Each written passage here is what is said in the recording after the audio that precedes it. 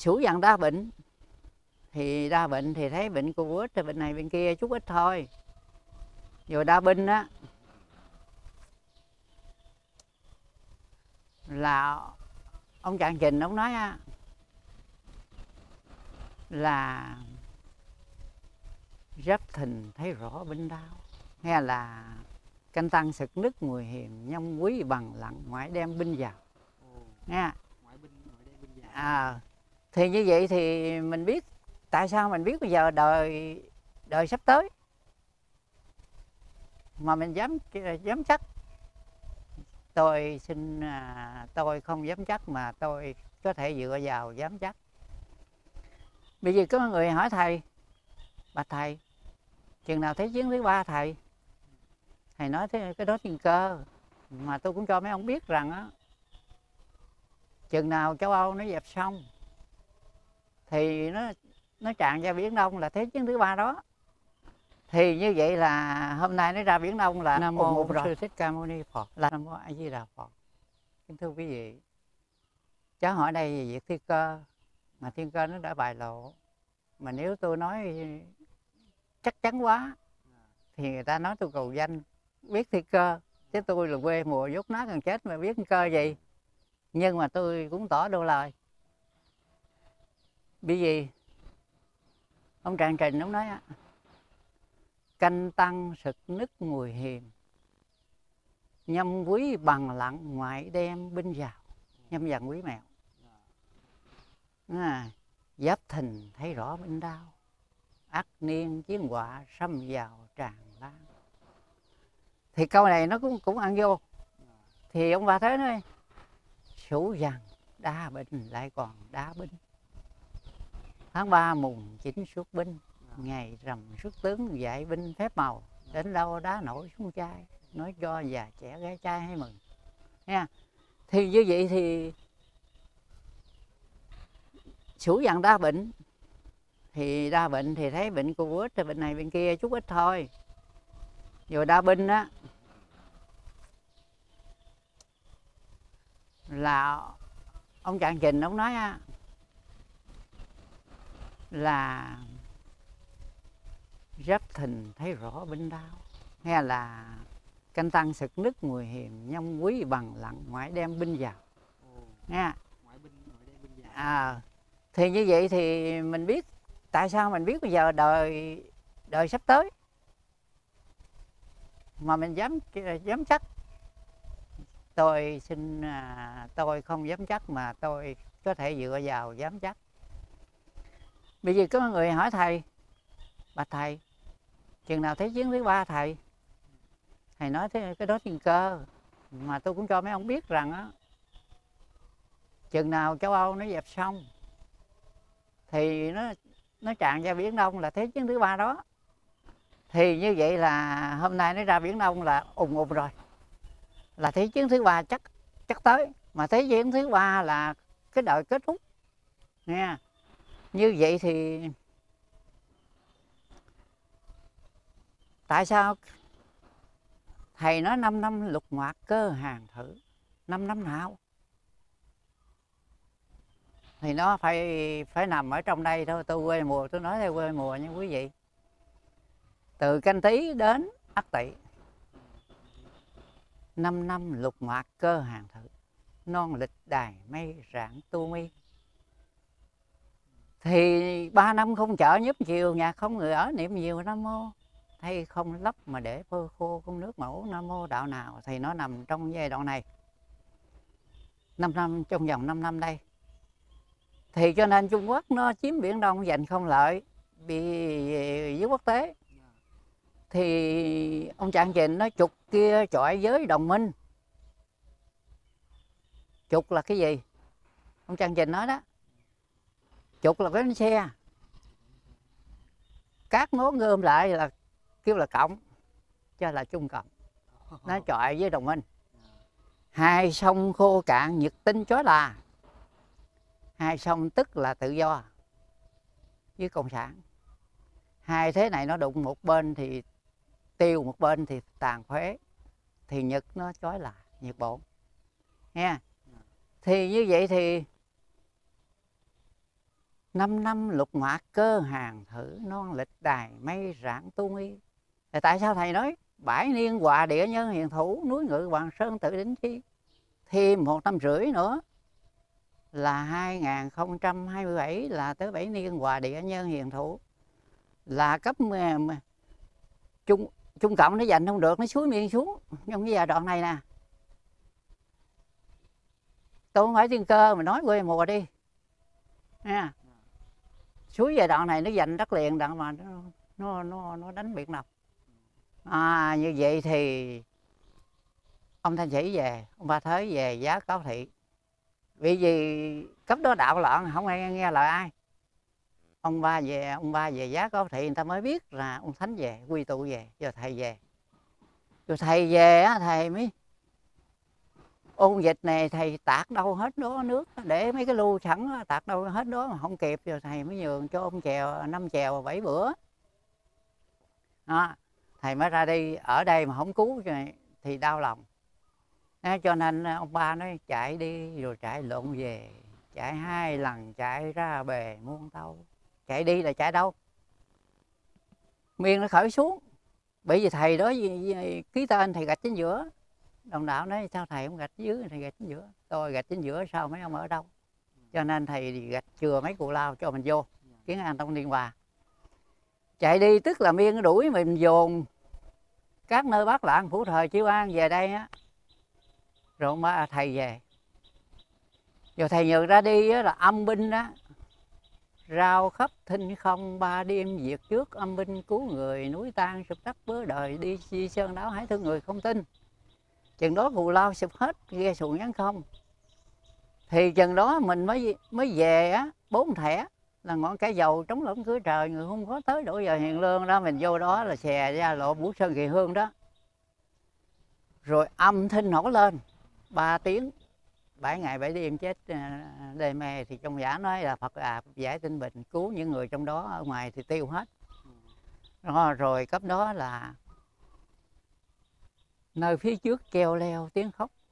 Ngó sau lưng hình dốc dễ chứ nước kia lửa nọ tưng bừng thảm cho thế sự lấy lừng nạn tai. Cấp đó là cấp có còn một cuộc chiếu manh dành xé khắp hoàn cầu ó rẽ một nơi. 18 nước 17 nước kéo vô núi ông nổ nó mới dành châu Áo cấp đó là cuối cùng đó là súng đạn không còn nổ nữa đó. Dạ yeah, cấp đó không còn nổ nữa à, cho nên nó là à, tới tới đó là nó, nó mới qua tới đời thượng môn thánh đức lập đời. Thì đi vậy thì mình tôi là nói quê mùa nha tôi thấy trắng trợn chứ tôi không phải thiên ca nha. Thì chạy đâu cho khỏi trong trong cái con giáp này. Tại sao đừng nói vậy? Vì thầy nói là ra biển đông thấy chiến thứ ba thì tới rồi còn còn còn nghi ngờ gì nữa? Chính chính miệng thầy nói mà. À thì miên khởi cũng giai đoạn này à, mình à, ráng tu.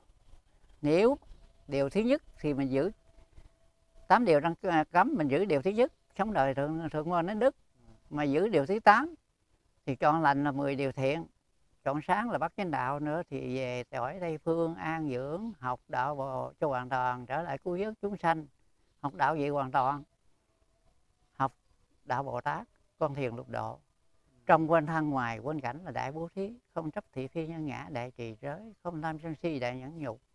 Niệm phật không gián đoạn đại tinh tấn. Lòng không tán loạn đại thiền định. À, à, không mắc không dính một pháp nào không thấy trên thế gian là đạt trí tuệ. Cho nên nó muốn muốn uh, sống đời thượng ngon thánh đức thì giữ uh, điều thứ nhất là sống rồi. Điều thứ tám là trọn lành, trọn sáng thì về tây phương hay dự hội long hoa. Người tu á, người ta còn thoát khỏi tử thần. Mà thoát khỏi, không thoát khỏi tử thần thì người ta cũng đương đầu với kẻ bạo quyền, kẻ độc tài. Còn huống gì mà bệnh cu cu ếch này? Bệnh này là bệnh của trời mà nếu trời cho giặc người tu thì còn ai mà lập đời thượng con đến đức được? Chọn những đấng tu hành cao công quả mà để cho ban cái xứng vị xứng ngôi. Mà nếu giặc người tu hết rồi sao mà mà còn? Cho nên ai có duyên đòi không có duyên thôi đừng sợ. Ví dụ à, thôi. À, huynh đệ hỏi đến đây. Cắt tay bao nở tung hoành ruột cắt ruột sao đành lòng dạ. Mà tại sao mình mình dám cầm dao mổ bụng? Là vì mấy cháu biết rằng chùa trong nước Việt Nam này không biết được còn chừng năm cái chùa mà độc lập không? Còn bao nhiêu là quý ông cộng sản tớp thâu về đảng mấy ông hết. À, tu theo đảng mà đảng không có đạo mà tu theo đảng. À, làm những việc sai lầm mà lại mất ừ, cái chân truyền giáo lý của thầy tổ. Cho nên khi mà tôn giáo hòa hảo cao đại thì cho phục hoạt và thiên chúa và thống nhất cho phục hoạt trước. Phục hoạt rồi thì đưa người đảng mấy ông vô nắm hết. Phật giáo Hòa Hảo tới hai 1999 mới cho phục hoạt năm 2000 thì mấy ông đưa vô toàn là nắm mà à, à 24 người mà đảng hết 21 người còn có ba người kia lang thang thì cũng nhảy ra thôi đó, đó là bộ máy trung ương. Rồi sau khi này á ai vô đảng ai làm cho ai theo đạo Phật giáo quốc danh của đảng cộng sản á, nhà nước lập ra thì quý ông cho tự do. Còn người ở ngoài thì không cho là cúng cái không cho làm lễ gì hết. Chính tôi đã hy sinh làm lễ đức thầy thì làm lễ ngày kỳ nào cũng bị đánh đập chặn đường đánh huynh đệ và cô bác và tôi. À, biết bao nhiêu lần sống chết. Cho nên có à, một lần tôi phải leo lên cây lần thứ nhất. Ở cái cây này. Ở tù 5 năm tù. Yeah. nha.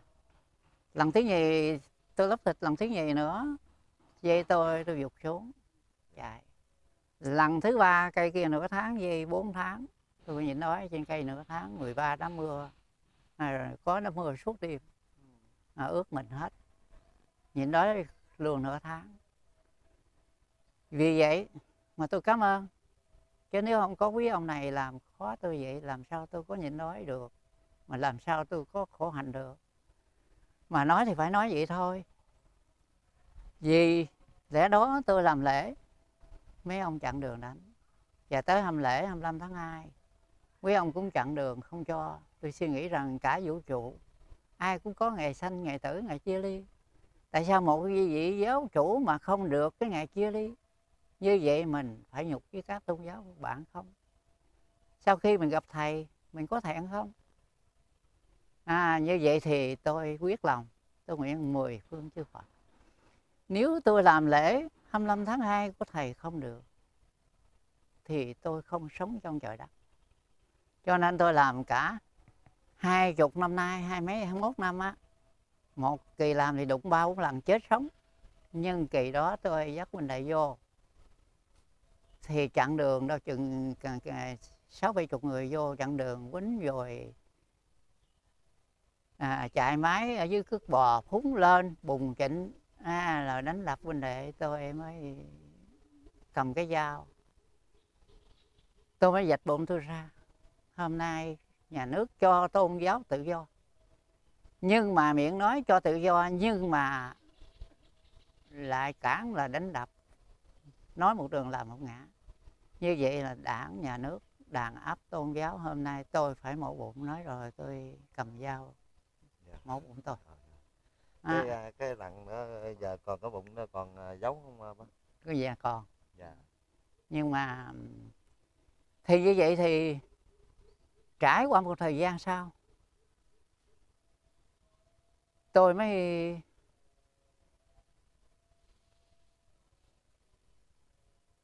năm năm nay thì mấy ông không còn chặn tôi là lễ 25 à, tháng 2 không còn chặn gì hết tôi làm tự do mà không còn ấy nữa. Vì mấy ông làm không được tôi rồi. À vì vì tôi ở tù với mấy ông là ba lần bờ tù là 14 năm rưỡi gần 40 lần bị bắt một hai tháng một hai tháng là gần 40 lần nữa. Thì coi cũng như là mấy ông luyện cho mình nội công đầy đủ hết rồi. Dạ quá. Ha. tôi rất cảm ơn. Nếu không có quý ông này á dùng cái lửa này đốt á lửa thường đốt thì bất có tôi chui dao xài vài năm. Dạ. mà mấy ông này dùng cái lửa ờ, diệt đạo phá đạo hay là làm tất cả tôi phải hy sinh cho nên cái lửa này làm cho tôi thành kiếm máu luôn. Dạ thì tôi rất cảm ơn nhiều chứ không tôi không có trách. À, vì sau khi lên à, mấy ông là dở tính chùa nước Việt Nam này không còn có ai là cái chỗ nào mà chùa à, cổ hết. Mà ở, ở nơi Ba Đình tại sao mấy ông cắt nhà cây của Hồ Chí Minh à, bắt bó? Mà mấy ông sửa. Mà cái chùa An Hòa Tự mà mấy ông tính giờ. Nha cho nên á, tôi lên trên nóc chùa tôi thủ ở trển mấy ông đạp ngói bể cục lên hết trơn có người ta cho hay. Người trong đó cho hay nhưng tôi lên tôi lại gọi lại. Thì mấy ông cấp đó là dây tôi cũng cả trăm mấy à. Nghe với đứa cháu tôi ở trên. Thì tôi nói mấy ông mà làm can thiệp vào cô tôn giáo thì một lát đây đưa lên cho quốc tế thấy. Thì đưa lên mấy ông giúp từ đó sau năn nỉ năn nỉ thôi thì xuống để cầu hòa không không có không thẳng ờ, mình tính lại chứ chừng nào lợp cũng tính ông năm ơi. Thì tháng sau cái nó lợp lén tôi đi lên tất cả huynh đệ đâu bốn năm người nó chặn đường nó quýnh huynh đệ. Và tôi thì chế sang cho mình nó không dám lại thì tôi buộc lòng tôi phải cắt cổ tôi. Nó một lần cắt cổ nữa. Dạ. Dạ. cho nên tính lại là hai lần lóc thịt. Một lần cắn thịt đùi. Hứa là cắn thịt đùi. Lóc ờ, một cái một thôi. Còn cắn thịt đùi nó khổ lắm. Cắn rồi nó nó dập nó tưa máu ra. Bốn năm chục lần nghiến mới đứt. Trời ơi, nó đau gấp lắm. À, rồi nó đau hơn lần mổ bụng cắt cổ nữa. Dạ. Đó. Vậy cho nên mấy ông gặp thời kỳ này mấy ông cho tôi nhiều cái món quà nó đặc biệt đó Dạ. Nha, để thành thụ mà. Nên tôi rất cảm ơn mấy ông này. Dạ. Chứ tôi không quán trách. Tôi có thể nguyện rằng mười phương chư Phật chứng minh cho con. Còn mấy ông đảng nhà nước đừng hại dân hại nước phản à, hại ai hết chí hại ngay tôi khảo ngay tôi chừng nào tôi chịu không được ha khảo người khác. Điều thứ hai nếu tôi chưa đắc đạo mấy ông khảo dồn tôi rất cảm ơn.